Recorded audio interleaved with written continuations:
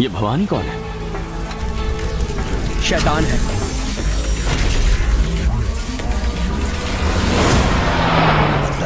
तुम्हें दो मिनट का वक्त देता हूँ। हो सके तो मुझे मारकर। इस हीरो को मैं दौड़ाऊं पैसे दे रहा है इसलिए तू मुझे मार रहा है। घोड़ा भी हीरो बनेगा। पैसे भी वो उन बच्चों को मारकर उन्हें फांसी पर लटकाया मैं उसी दिन मर गया था। मुंबई शहर में ड्रग्स के नशे के कारण हर रोज युवाओं की मौत हो रही है।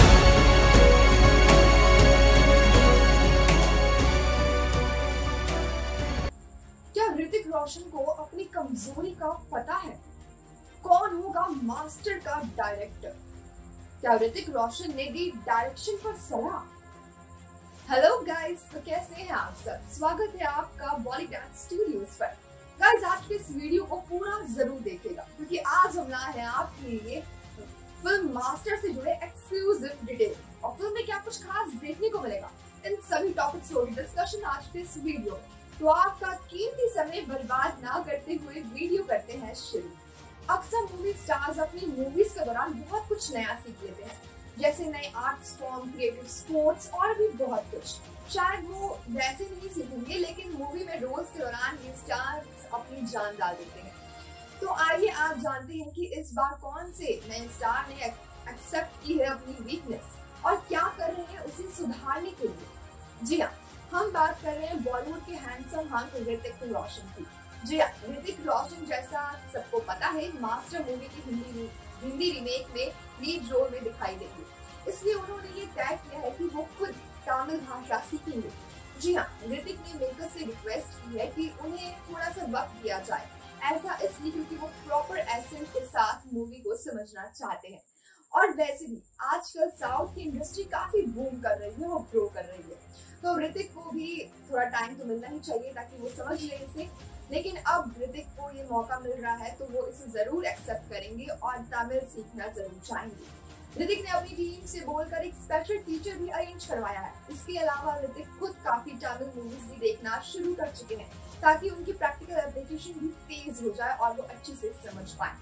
सही में ऋतिक काफ़ी मेहनत कर रहे हैं और तैयार है इस फ़िल्म के लिए, जिसके लिए उनकी टीम भी उन्हें टाइम देना चाहती है। वो ऋतिक के इस डिसीज़न से काफ़ी खुश भी है। मूवी में तमिल स्टार विजय सेतुपति भी होंगे। इससे मेकर्स को लग रहा है कि ऋतिक और विजय में बॉन्डिंग बढ़ेगी। इसलिए वो ऋतिक को ये एक्स्ट्रा स्टेप्स देने के लिए दे रहे हैं, तैयार भी है। देखना ये होगा कि क्या असलियत में ऋतिक की ये मेहनत उन्हें एक हिट फ़िल्म डिलीवर करने में कामयाब होती है या नहीं। ऋतिक की बॉलीवुड में जितनी फ़ैन फॉलोइंग थी, क्या उतनी ही वो साउथ में बना पाएँगे? कमेंट सेक्शन में हमें ज़रूर बताएँ अपना ओपिनियन मास्टर मूवी के हिंदी रिमेक की rights famous producer Murad Khetani ने ले लिए हैं। मुराद खेतानी काफ़ी फ़ेमस प्रोड्यूसर है। अगर आपको याद नहीं है तो याद दिला दें कि उनकी लेटेस्ट सक्सेस का एग्जांपल है कबीर सिंह। जी हाँ फ़ेमस कबीर सिंह के प्रोड्यूसर ने ले लिया है मास्टर के हिंदी रीमेक के राइट्स तो कौन होगा ऐसे में फ़िल्म का डायरेक्टर यानी फ़िल्म मास्टर का डायरेक्टर दरअसल मुराद खेतानी अपना पुराना पैतरा ही आजमाना चाहते हैं। जी हाँ जैसे कबीर सिंह को बनाते समय उन्होंने ओरिजिनल मूवी अर्जुन रेड्डी के डायरेक्टर को ही मौका दिया था। वैसे ही वो मास्टर के हिंदी रीमेक के लिए भी ओरिजिनल डायरेक्टर को साइन करना चाहते हैं। जी हाँ कबीर सिंह और अर्जुन रेड्डी, दोनों ही संदीप रेड्डी वांगा ने ही डायरेक्ट की थी। वो इसलिए क्योंकि डायरेक्टर ही मूवीज़ का कैटलिस्ट होता है।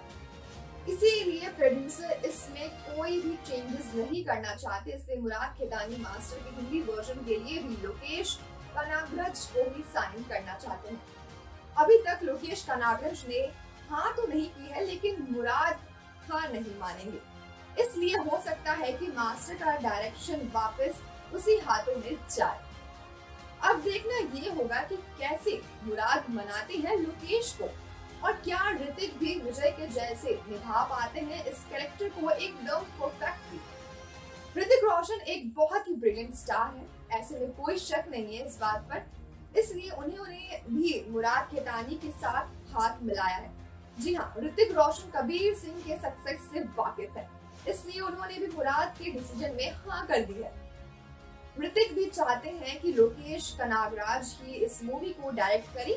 ऋतिक तैयार है कि एक नया डायरेक्टर के साथ काम कैसे करना है और कैसे सब कुछ हैंडल करना है।